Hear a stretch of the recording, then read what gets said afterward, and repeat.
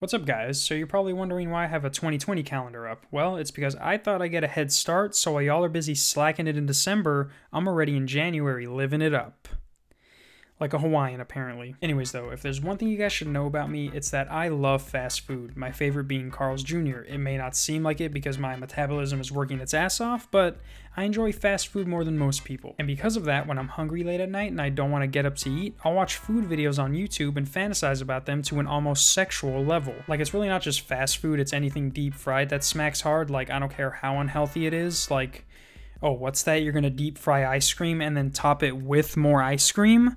Don't mind if I fucking do. Like, if I didn't eat junk food growing up, I wouldn't be here in front of this camera. I'd probably be like at Harvard curing cancer or something. And let me tell you, I don't care how many diseases I could have cured, I'd rather be right here with you guys.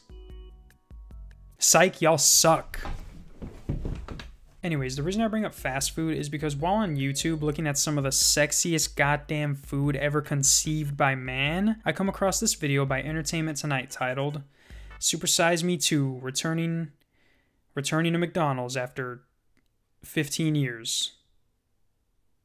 Close enough. Now, if you don't know what Super Size Me 2 is, apparently well, not apparently, this actually happened, but back in 2005, a documentary was released called Super Size Me, and it was about this guy named Morgan Spurlock eating McDonald's for a month and seeing how it affected his body. Now, in 2005, I was in the fifth grade, so this wouldn't be something I'd be interested in watching, but being a bi-curious child, I watched it anyway, and the only thing I could remember is him throwing up from eating too much McDonald's. Basically, the point of the documentary was to bring awareness to obesity, and for some reason, a failed lawsuit where two obese girls tried to sue McDonald's and say they became obese from eating McDonald's. And even though it failed, it showed people that much of the same criticism leveled against tobacco companies applies to fast food franchises whose product is both physiologically addictive and physically harmful, which I guess I can kind of agree with, but those two girls suing McDonald's should have nothing to do with this. Like, how about just bringing awareness to obesity and not two girls who got fat because they ate food that makes you fat? That's like running someone over with your car and being like, well, Toyota makes the car, so technically they ran them over. Like, those girls really really walked into court and expected to win. Now that needs to be a Netflix documentary starring Melissa McCarthy and Rebel Wilson. But basically the guy ate McDonald's for a month, got some health problems, gained some weight, and people were like, wow, who knew fast food did that to you? Good thing I only enjoy it in moderate occasions like 70% of America. Did I say that right? Moderate occasions? Is that even a thing? Moderate occasions?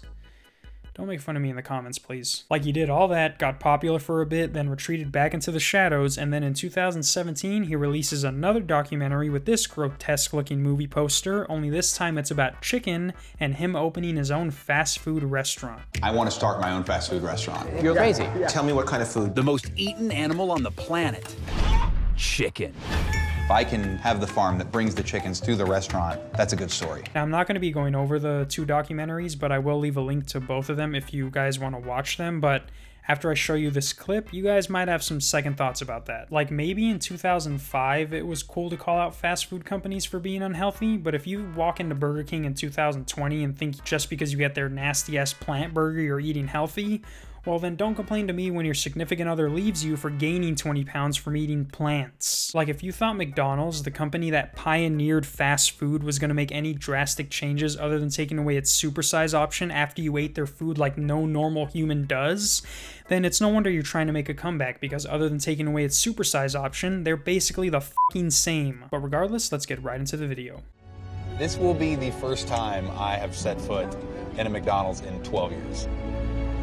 It's a big moment. Here we are. I don't feel good today.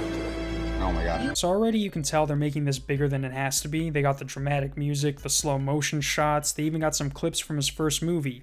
It's all cool and all until you realize that he's going to McDonald's. He's like, this is a big moment. Why? Why is it a big moment for you? Is, is Ronald McDonald going to be there to tell you to f off himself? How is going back to a place you talk shit to a big moment for you? They're still making billions. Like a big moment would be you pulling up to McDonald's as it's closing down because of the impact your movie had, not spending money at a place you despise. Uh, this is a drastically different place than the McDonald's of 10 years ago. It doesn't look like any McDonald's I've ever been in.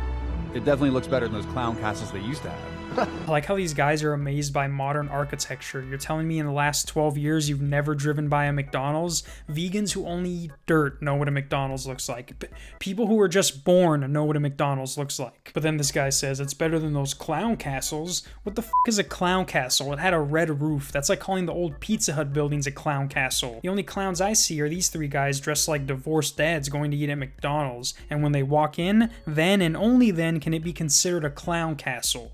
Nice stonework. I mean, that's not cheap. Yeah. Wait, is it gonna taste drastically different? You're gonna let us know.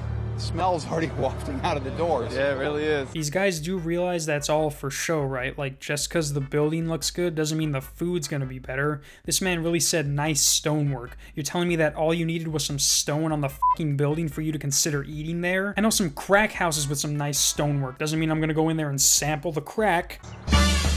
Wow.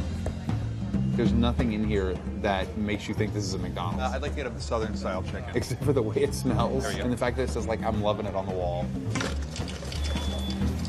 Thank you very much. Wow, there's nothing in here that makes you think this is a McDonald's other than, you know, the smell, the logos, the slogan painted on the wall, and the fact that most of their menu items have a Mick before it. But you know, other than that, I couldn't tell if this was a McDonald's or Olive Garden with this magnificent stonework. All right, guys. Here's the goods. Sir, let's take a look.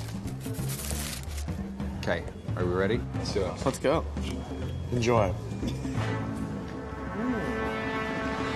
So before I show you his reaction, I just want to say that the chicken sandwich he got, that Southwest chicken one, it wasn't a McChicken. It was a little more expensive. It was like three dollars, but that one smacked. You feel me? Like that one, it was still fast food quality, but that one could go toe to toe with Popeyes bitch ass. Glad to know some things haven't changed in 12 years.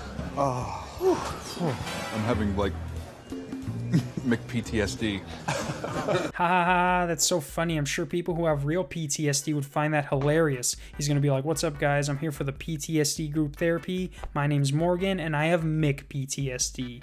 They're gonna be like, What? He's gonna be like, Yeah, I went back to McDonald's after 12 years, and after I ate their chicken sandwich, I felt like I was back in Nam.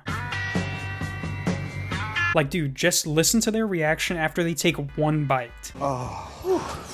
Why are they breathing like that? It's a chicken sandwich. They're acting like they just ate ass for the first time and the girl farted in their mouth. Oh.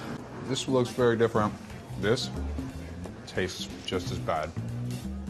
Kid, remember they used to have the styrofoam containers?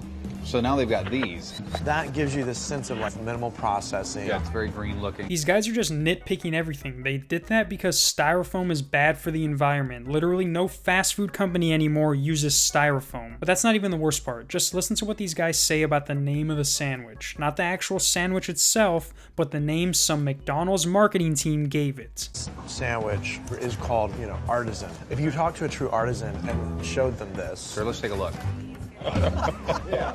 It's not like they have artisan staff back there and then regular staff. One guy makes that sandwich all day. Just all That's day. made by our artisan.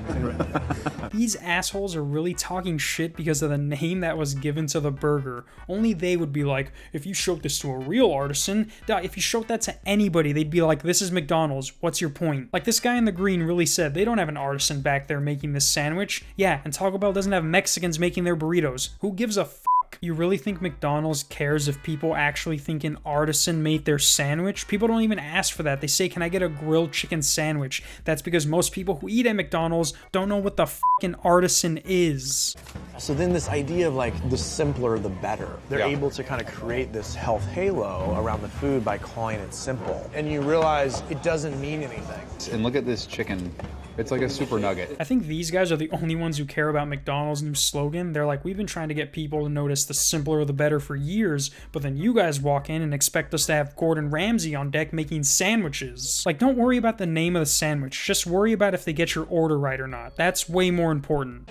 That's amazing. But also, you gotta love the fresh cracked eggs, cracked fresh in our kitchen.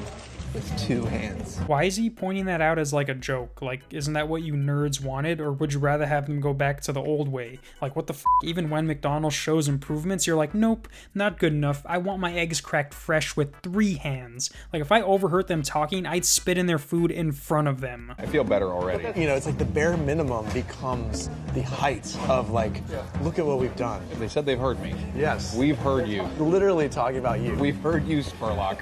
And now look what we've done. We made a trifold brochure. Again, McDonald's could give two shits about you. Like I said, the only thing you changed was getting the supersize option off the menu. So if you think 12 years after you made your first movie, they're finally like, you know, I think he might be onto something, then you're fucking retarded. Like these three guys are the people you don't want making an anti-fast food documentary because they have unrealistic standards for low quality places. Like really, how the fuck is having an artisan make the sandwich gonna make it any different? It's the same ingredients. What is he gonna wipe the bun with his ass and get that special artisan flavor? Like y'all can artisan these nuts for all I care. Well guys, that's it. Like I said, I left a link to both movies in the description, and I also left a link to Doug Benson's movie Super High Me, where he gets high for a month straight. It literally has nothing to do with fast food, but after 10 minutes of watching someone eat McDonald's and throw up, you're gonna wanna watch someone smoke. Until next time, peace. L7, baby, LL7. Know the essence of our presence. Got you present for a fact, baby. Reynolds rap, all the grass in the.